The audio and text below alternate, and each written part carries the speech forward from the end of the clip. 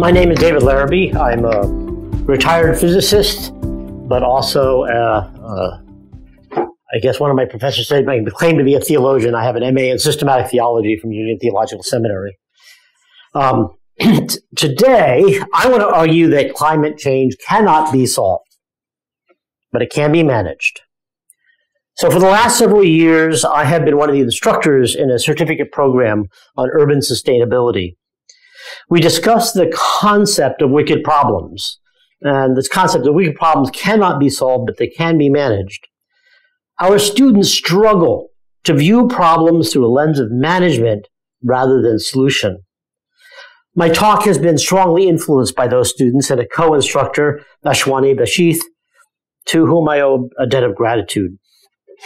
So let me start the discussion um, of what is meant by wicked problems. The data, the, the idea dates back to 1973 in a paper entitled Dilemmas in the General Theory of Planning by Rittel and Webber. Climate change is as much a social problem as a, a technical one. Any solution would have to address not only the technical aspects, but the social aspects as well. We have made progress with technical innovations, Getting agreement on social, political, and international policies remains elusive. Climate change is an example of a class of social planning problems called wicked problems. So, I'll start off by describing the essential features of wicked problems. Effectively managing wicked problems requires building some shared vision among the stakeholders. To turn visions into reality requires change. That change is most easily accomplished when the social situation, usually a crisis, provides a unique moment, a kairos moment, when real lasting change is possible. I often get asked about hope. Hope for a solution is elusive. Hope for effective management remains less elusive. And Romans 8 is a passage. If I'm as an eco theologian, I would be negligent if I didn't bring up Romans 8 as a passage but if you look at the Bible for ecological hope, and so finally I'll summarize the results. So let's talk about wicked problems. Um, from this is from uh, Rittel and Webber. They proposed ten characteristics of wicked problems. I'm not going to present them in their order, and I'll take some liberty with their exact words. So four of the criteria have to do with the formulation of the problem. One, there is no definitive formulation of a wicked problem. The nature of the problem depends upon whom you ask, and usually depends upon their idea of a required solution. In fact, you cannot understand the problem apart from the ideas for the solution. To defin- definitively formulate the problem, you would need to gather together all possible solutions in order to gather all the required information. Two, every wicked problem can be considered to be a symptom of another problem. Is the burning of fossil fuels the exclusive cause of climate change? Or is this a s- symptom of excessive consumption, an extractive economic system, a bad relationship with the planet, too large of a population, et cetera, et cetera, et cetera? Of course, all of these are interconnected problems. Three, there is no immediate and ultimate test of a solution. Without a clear definition of the problem, you really have no way of knowing if your solution is really a solution. And connected with that, there is no stopping rule. No criteria by which we can say, we're done. Typically, we stop when we run out of funds, we grow tired of the program, or if you're a politician, perhaps we just declare victory and move on. Many of us here were trained in a traditional pro- problem solving strategic way. We gather the required data, we develop possible solution strategies. We try a strategy. We evaluate the result. If successful, you're done. If you're not successful, try another strategy. Wicked problems don't even get past the first stage. Perhaps thinking about solutions to wicked problems is counterproductive. Much of life consists of managing problems. We manage the seven deadly sins. We manage chronic conditions. We manage relationship issues. Societal issues are rarely solved, but we attempt to manage them. Poverty, social justice, racism, to name a few. Theologically, between now and the second coming, we're undergoing the process of sanctification, the management of sin. Solutions are rare. Management is the norm. Creation care, as I see it, is not looking for a solution as much as it is nurturing a relationship between humans and the rest of God's creation. Consequently, creation care has no specific problem formation and has no stopping rule. Some of the issues he has are with uh, the management side. So, wicked problems are essentially unique. The key word here is essentially. Okay. You can find similarities as well as differences between any two sets of problems. In wicked problems, the differences are important enough that they overwhelm the similarities. For example, comparing the ozone hole issue with climate change, we find two significant differences. First, there was a substitute for the CFCs that were creating the hole in the ozone layer. And secondly, the solution did not involve rethinking, reinventing, and retooling the entire world economy. Every solution is, is a one-shot operation. Okay. Wicked problems do not allow us to start over. you can't say, I've solved the climate change, didn't work out, let's try another one, because every time you, you try something, you change the result. If we have a geoengineering solution is tried, you can't just untry it. Okay? So there's no opportunity to learn by trial and error. The outcome of each effort creates a new starting point. Management has to adopt to the new modified problem. Seven, the consequences of failure are grave enough that the planner, the proposer, of the solution, has no right to be wrong. The United Nations of the United Nations Conference of the Parties comes to mind here. Okay. Let's take a step back theological look. We can view the history of Israel as a series of divine adaptive management actions. From slaves in Egypt to wandering in the wilderness to creating a new nation in Canaan to exile or return, each step creates new possibilities while closing off the past. Each adaptation proceeds from a kairos moment. Perhaps we need to think of this moment in history as another example where we have traveled from one set of circumstances to another. More of a transformation than a solution. A change of path rather than a resolution. Think about Israel returning from the Babylonian exile. Although the physical location was the same, the social and cultural situation was very different. What emerged from the destruction of the Second Temple in 70 CE ultimately gave us modern Judaism.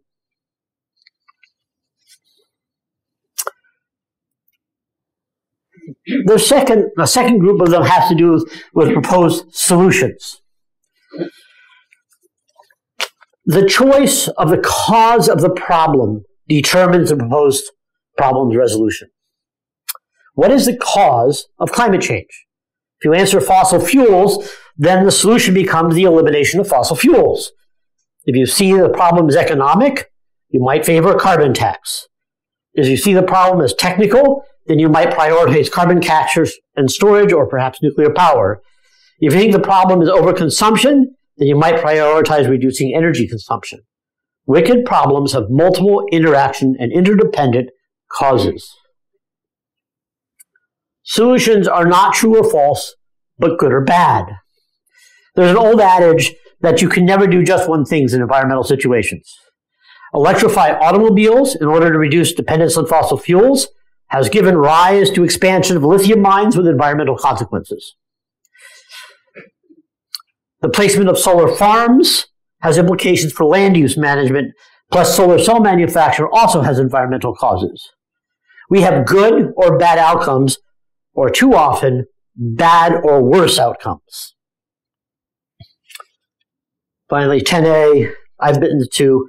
We do not have an exhaustive set of potential solutions. There are often many different influences on the problem. each with their own cause. These influences are interacting in a myriad of ways. Each proposed solution may address one or a few aspects of the problem. Wicked problems are often complex enough that exhaustive listing of all the potential approaches and solutions is impossible, at least in the time strength given. Finally, there is no well-defined set of permissible operations that may be incorporated in the plan. Different stakeholders have different ideas about the consequences of the proposed solutions and about what should be prioritized or even attempted. One group might prioritize the growth of electric automobile industry while another opposes the operations of that mine.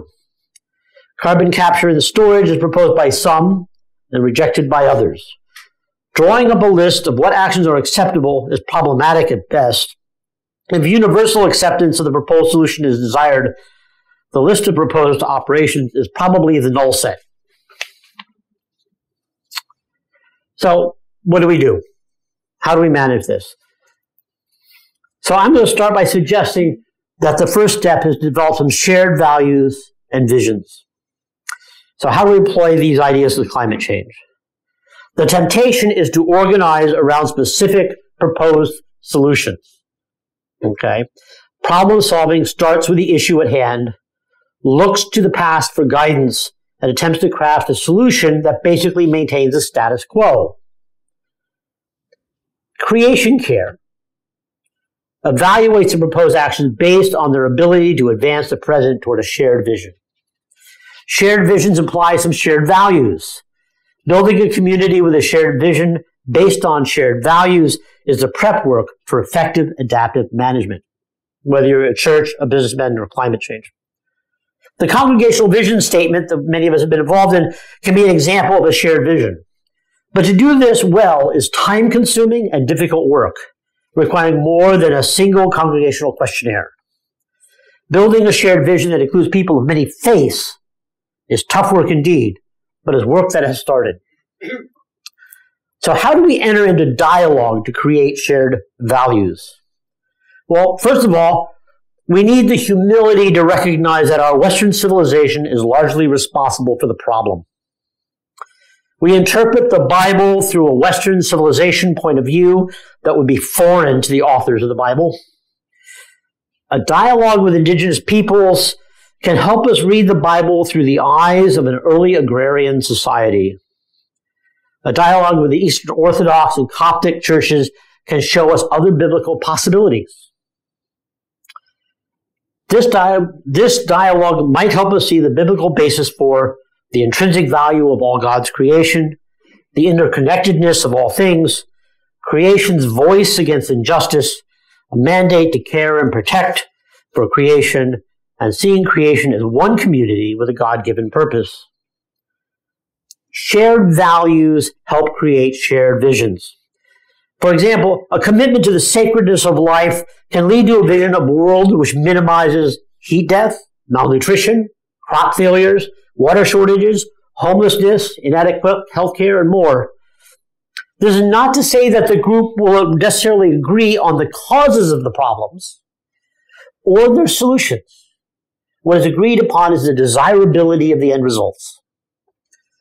Such results come about through dialogue. We can learn a lesson from those engaged in interreligious dialogue about how to develop such shared visions. I suggest a starting point might be Catherine Cornille's The Impossibility of Interreligious Dialogue. I had a talk a couple years ago here about that ongoing effort. Among her recommendations for dialogue are commitment to the dialogue, interconnection with others, empathy, and hospitality. Too often, what passes for dialogue is really competing monologues or outright apologetics. We need to see the world through other people's experience rather than evaluating their experience through our own traditions. So I was in an evangelical group that was reading the book Braiding Sweetgrass. It became clear that many members were reading the book through the lens of an evangelical reading of scripture. It is far more interesting book when read in a way that tries to understand the point of view and experience of the indigenous author. One can then ask what the book has to say about evangelical theology. The insights so gained become invaluable in seeing how our worldview permeates our understanding of Scripture. Okay. Finally, I think it's important that the visions we build are positive and not apocalyptic. We need to emphasize what is positive in the transition we are experiencing. So I'll talk a little bit about kairos moments. The Greek word kairos is used in the New Testament when referring to an appointed time, as opposed to sort of the clock type time or, or chronos. Kairos is not measured by a day or an hour, but by the expectation that time is ripe for something to happen. It might be a time for harvesting the crop or a time of salvation. So myself and others are te- uh, teachers. So teachers talk about the teachable moment as um, an event when things come together for a student when a real advance is possible. Okay, a time of opportunity. So Kairos moments are these openings in time. They often have a start and an end. Okay. There, and so Merriam-Webster defines uh, Kairos moment as a time when conditions are right for the accomplishment of a crucial action, the opportunities and decisive moment. So most of our change seems to come about during a time of crisis. Kairos moments provide us with the opportunity to choose between moving forward towards a vision or solving the problem to try to maintain the status quo. Okay? Or perhaps doing as little as possible to convince people that something's happening, what I would call greenwashing.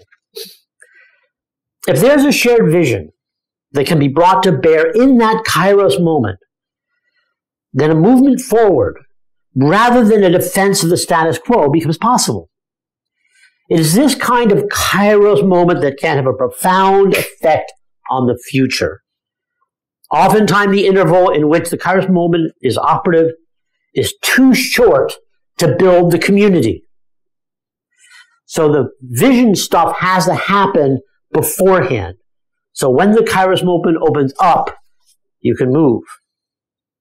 I don't think there's a single massive Kairos moment that's going to do the transition. Rather, there is likely to be a series of smaller Kairos moments. Here, a group that can take the lead in the current moment is a positive. What too often happens in my experience is that other groups favoring other causes and other solutions get in the way or try to hog the limelight rather than let the group that really can respond well respond. And here's where the lens of, of, of the lens of avoiding solutions, but management helps. If you think you're one solution, the solution to the problem, and somebody else has the limelight, you're going to try to step in. You see it as a small advances, you can either help or just get out of the way. Look at the I think Jürgen Moltmann puts it best. To perceive the chances in the crisis. Okay. It is here that we can effectively advance the kingdom. I promised I'd address hope. I get this about asked hope a lot. Usually the person asking about hope is looking for some data, some experience that makes a reasonable case that we can come through the crisis in good order. Good luck. As Christians say, we put our hope in God or Jesus. We know that ultimately the world will be redeemed even when the force of evil seem to be gaining ground. We believe that in time God will make all things right. Our job is not to complete the task, but to advance the kingdom as best we can. So the standard eco-theological answer to hope to the climate context is Romans 8, 19 through 25. So I'll read it and make some brief comments. For the creation waits with eager longing for the revealing of the children of God. For the creation was subject to futility, not of its own will, but by the will of the one who subjected it, in hope that the creation itself will be set free from its bondage to decay and obtain the freedom of the glory of the children of God. We know that the whole creation has been groaning in labor pains until now. And not only creation, but we ourselves, who have the first fruits of the Spirit, going inwardly, inwardly while we wait for the adoption, the redemption of our bodies. For in hope we are saved. The hope that is seen is not hope, for who hopes for what is seen? But if we hope for what we do not see, we wait for it with patience. The first verses spell out a vision of creation being set free. And then it goes on to spell out the current situation that both we and creation are groaning as a kingdom may be advancing in God's time, Kairos, not ours. The passage ends with a statement that our hope is for, is for what we do not yet see. We do not yet see what awaits us at the other end of this transition time. Perhaps we need to stop thinking about hope as a noun, something we have, but as a verb, something we are working towards. Oops. Should have advanced it. okay. Summary. Wicked problems like climate change cannot be solved, only adaptively managed. Effective management requires a shared positive future vision of the future. That future vision needs to be shared by a diverse group of stakeholders. Kairos moments, usually in a crisis, provide the opportunity to take a step towards that future in Christian context to advance the kingdom of God. No one group can prepare for all possible Kairos moments. Something we have, sometimes we have to get out of the way. The alternative is to problem solve, usually in an effort to maintain the status quo. Creation care searches for a set of biblically based ecological values and future vision in dialogue with others. It is not looking for a solution, but of moving towards the kingdom. It is a task that has no end, at least until Christ returns. Thank you.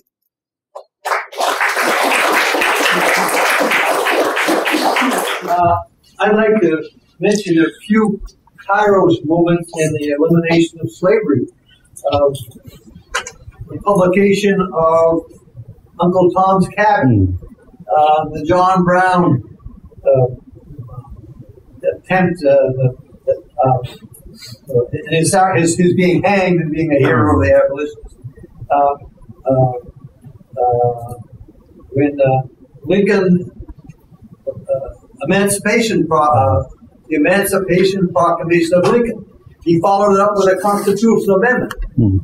Then, a century later, we have the Voting Rights Act. Mm. And we all know that that vote for Martin Luther King mm. he ended up giving his life for that movement. So I think we have to be, I like to talk about incremental progress, mm. small progress. You can see them, and we still have a way to go. Yep. We got to, they said there's no there's no stopping rule. So, yeah. That was just some examples of Kairos moments from the ending of slavery. Um, I feel like we have a lot of uh, ex- examples of not positive visions. Oh yeah. I was wondering if you would share if you have any favorite examples of uh, groups or, or people that are you feel like are doing a good job of casting positive visions. So asking for examples of positive visions.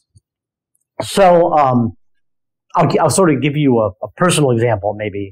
Um, I was at a World Council of Churches, presenting a World Council of Churches meeting um, in Crete, and there the the Eastern Orthodox Church, um, some people of different faiths, Coptic Church, uh, were together to try to form some ideas of what an eco theology would look like in the vision.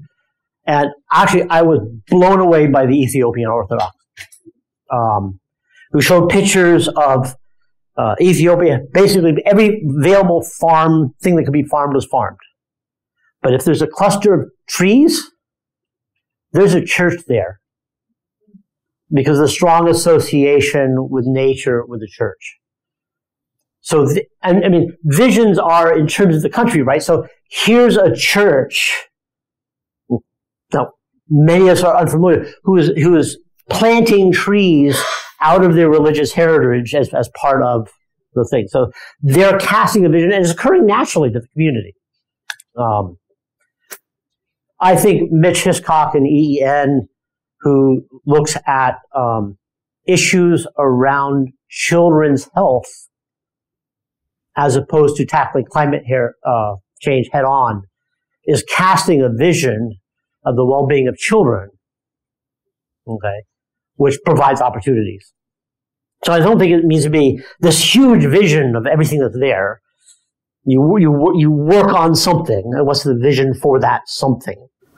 I, I accept, I see the uh, characterization wicked problem for climate change. I just wonder how you, how it incorporates the element of time, whether it, it's irrelevant to it or whether, uh, for example, in climate change, there is a sense of clock ticking. So how would it, uh, looking at it as a wicked problem, um, deal with that sense of this time element here? So, okay, so the question is, um, how does the wicked problem characteriz- characterization for climate change incorporate the idea of time? So there's some group of authors that have, have now said that climate change is a super wicked problem for that very reason that there's a time limit. And the short answer to you is, to put it another way, 1.5 degrees C is dead. I mean, even the IPCC is saying, well, just suck the carbon out of the air so it'll be 1.5 degrees C at the end of the century. Okay? So you're bound by what, what can happen in the social context. Okay? And so there's no stopping rule.